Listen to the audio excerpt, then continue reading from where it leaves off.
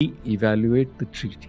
Remember uh, how many days the Russians, the Soviets, fought against Hitler in St. Petersburg?